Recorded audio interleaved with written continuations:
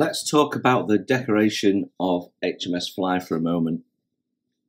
So I often see um, people spend a lot of time building their model and then they simply block paint the decoration. Uh, and for me, that, that's not quite right. Now, the instructions for HMS Fly tell you for this part, for example, to paint the whole thing either gold or yellow ochre. Well, from a historical perspective, the yellow ochre would be much more accurate. But the reality is, there would be a lot more colour on this with, without doubt.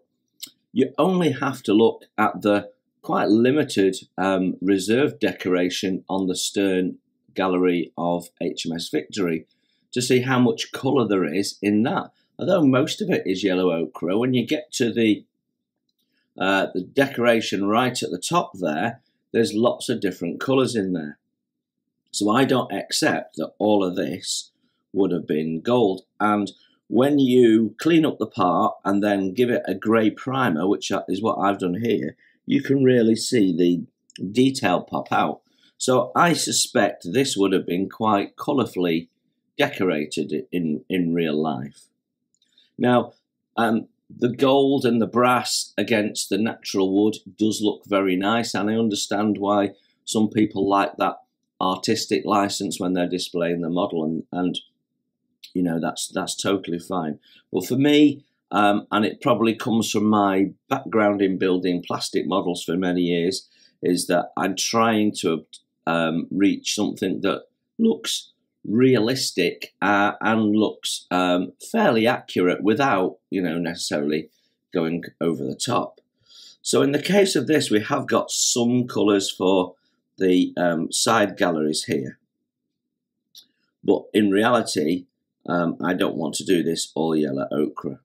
Now another uh, another point we should consider is at this period of time, the captain of the ship had the right to paint his ship any way he chose. So different captains would have possibly changed the decoration. So what I want to do is um, I want to paint this in a more colourful way other than just solid. Um, but also I want to show you how to paint it so it has a bit of shadow and highlight rather than just a single block colour, which is what I see a lot of wooden ship kit modelers do. Now, in terms of colours, you are a little limited. Um, ships carried a certain number of paints, and these were the, the standard Admiralty paints. So you'd have yellow ochre, you'd have red ochre, you'd have black, you'd have white, um, you'd possibly have um, green, uh, and you would have had um, blue. So everything we do in here has to come out of that palette of colours. You will have to forgive my voice, I have a terrible cold the first thing we can see is that there is actually um, a little bit of um, back to this, which we need to paint in black.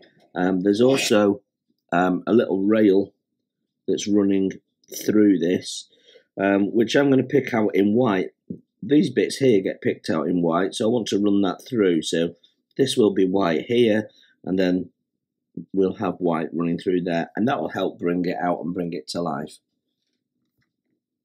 So we will start with dull black, which is the black used on woods. Now this is Admiralty paints and this will be the paint system I use throughout the bill.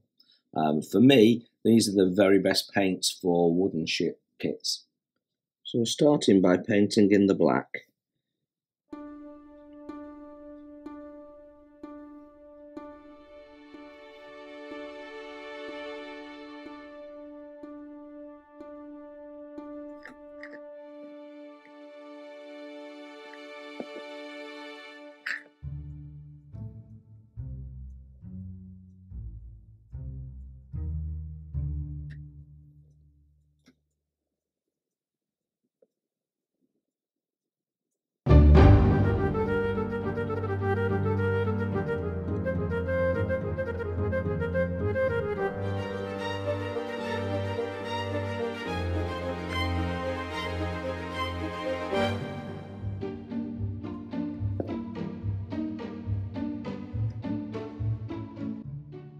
The thing to remember is this is carved wood in real life, so it should be a little bit junky looking.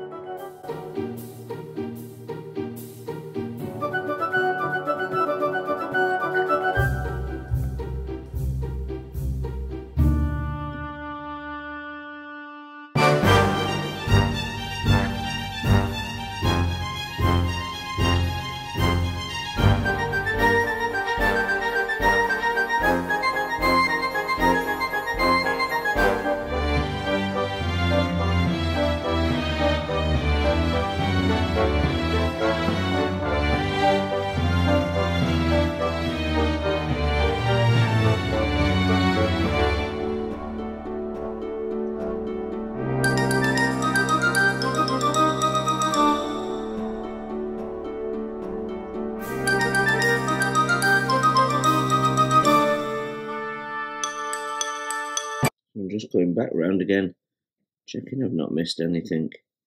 If in doubt, paint it in.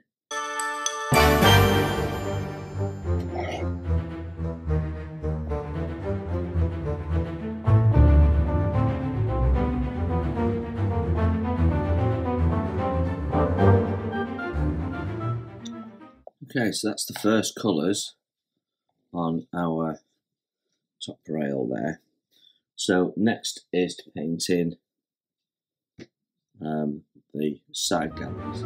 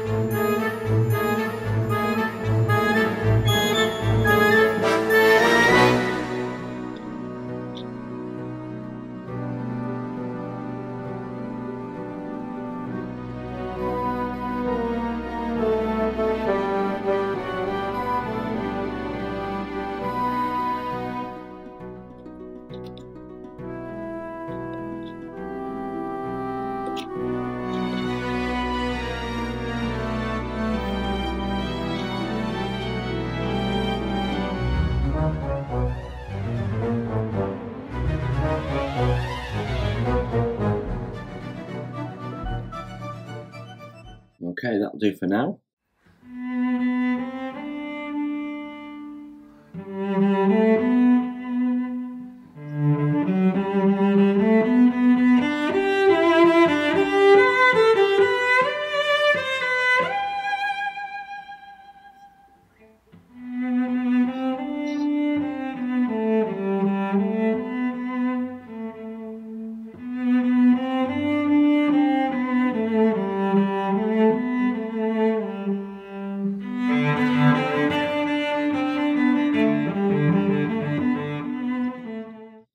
That's the bottom railing. Now there is a little rail that's very difficult to see running through here, so I'm going to do that now. And the reason why I'm painting the windows in white is so that we can paint the frame the full depth and then what we will do is paint the windows in separately um, and that should keep the frames nice and sharp.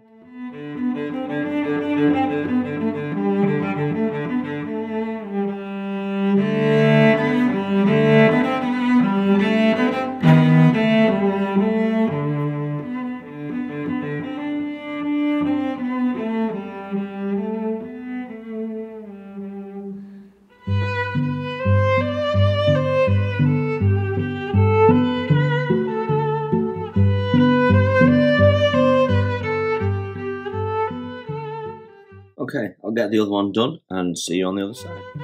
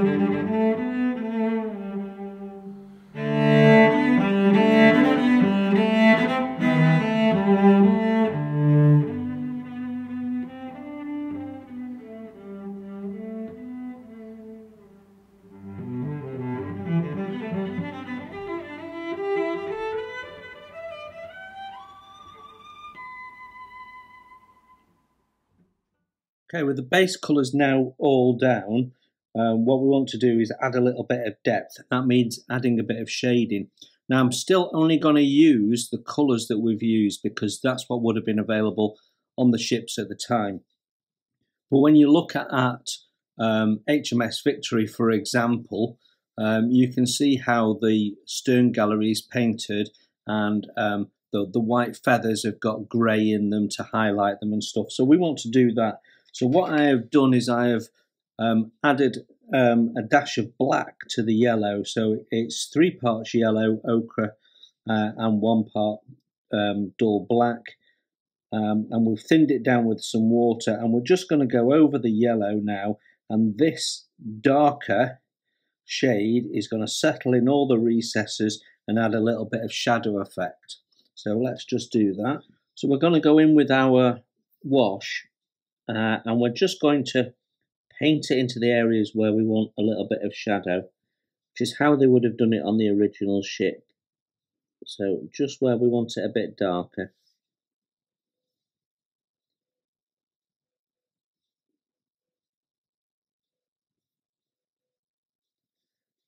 And it's subtle, but it'll be most obvious on places like the face.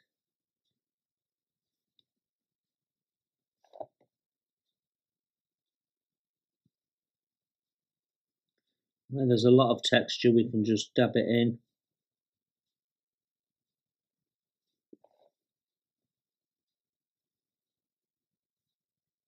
And as it dries, the liquid uh, flashes off, the pigment settles and it'll settle right down into the, the grooves there.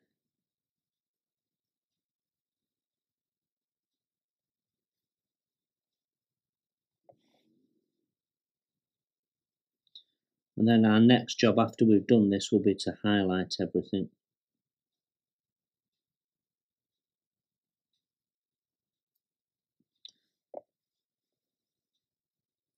I think that's the cherub done.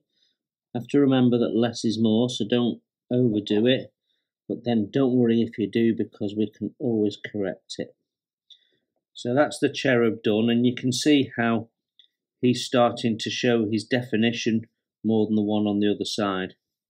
So I'm going to carry on doing that uh, and when that's done I'll show you what that looks like.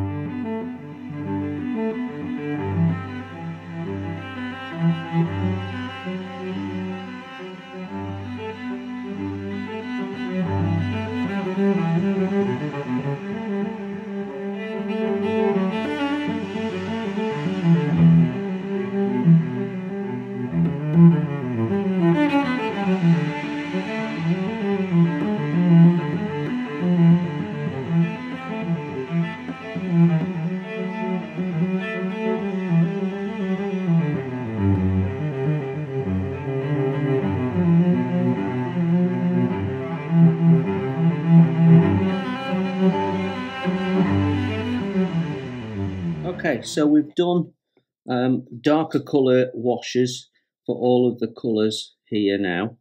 Um, and we've painted the windows in in a light grey. Uh, when you look at um, ships' windows out at sea, that's the colour they are. Um, we need to um, put some gloss on and make them uh, ultra shiny so it looks like glass. But that'll be the last thing we do. So what I want to do now is go over the white and solid up the white and then we'll start doing some lighter colours to, to highlight these other colours that we've done. So I'm using my Admiralty White which I've thinned down a little bit. You can thin it with water. Um, I'm actually using Ultimate Thinner because pretty much thins everything, anything as long as you get your ratio right. And I'm hoping this will be the last coat of white that we need to do. So that looks nice and bright now and it's evening up the colour.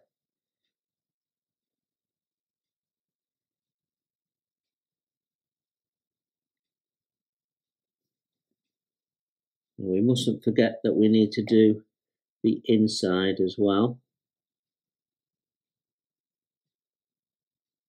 That will be visible. and ultimately this part will just get glued on so we can prepare it all in advance and then just place it when we're ready.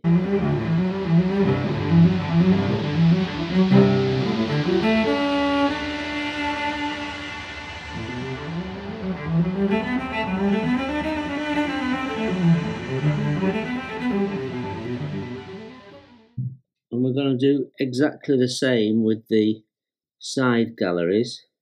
We might need two coats on these.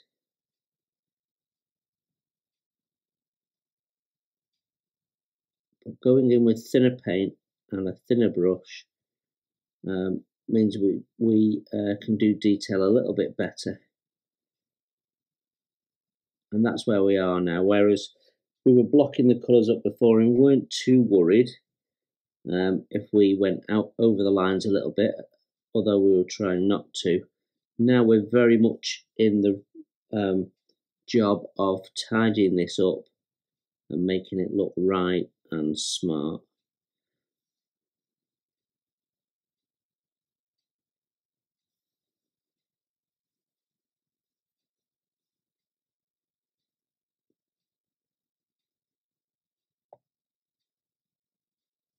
Fairly sure we're going to have to do at least another coat on this.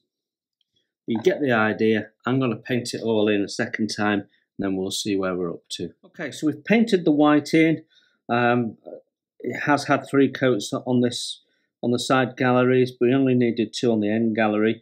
Um, so as we've got the white out and the blue, uh, what I want to do is do the blue highlight so we can show you what that's going to look like. So what we're going to do is we're going to take some of this blue paint. I still need to do more on the blue here, you see, so I don't want to contaminate this paint. I'm going to take some of this blue paint here.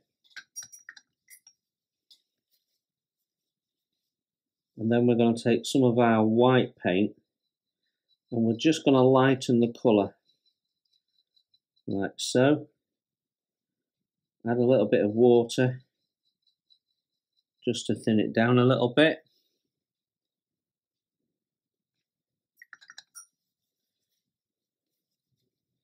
And then we can go in and start highlighting the top edges of the uh, garment and you'll see what a difference that makes. So a tiny, tiny amount of paint on the paintbrush and we're just going in on the ray top, very top of the raised detail there. And you can see straight away that's starting to bring out the shape and life of the garment.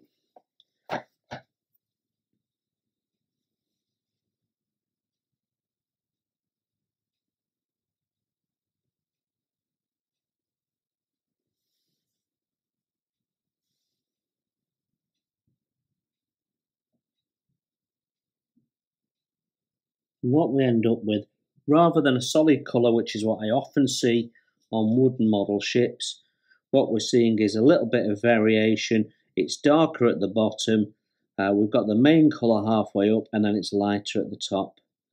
Um, and I think that just looks so much better.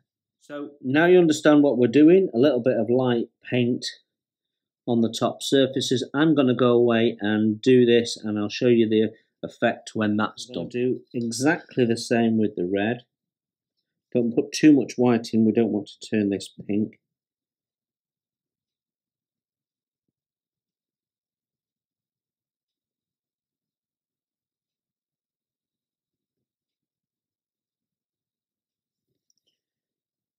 It just highlights all the different textures that would have been carved into this. And the ships were very proud of their decoration, particularly their figureheads.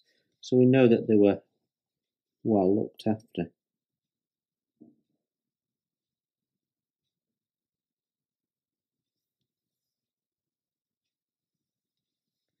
Right, I'll come back to you when all of this is finished.